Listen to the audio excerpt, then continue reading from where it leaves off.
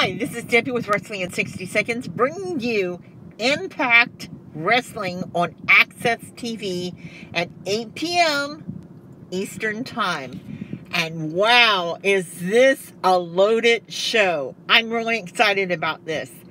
First of all, we are just 24 hours away from Impact's Victory Road pay per view we have a ladder match with Myers versus Jahar, Taurus versus Laredo versus Zayne versus Miguel versus Yim.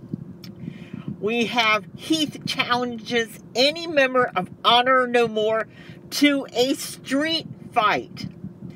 And Aussie Open versus Motor City Machine Guns. And Dice versus Grace. Jordynne Grace. That's a loaded card right there. I'm very excited to see Aussie Open versus uh, Motor City Machine Guns and Dice versus Grace as long and the four way with Mia Yim. Thanks for watching, subscribing, and as always, bye for now.